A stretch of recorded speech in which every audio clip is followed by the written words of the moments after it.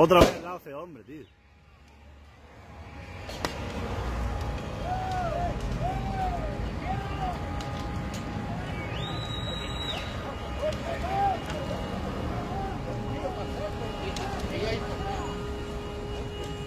gente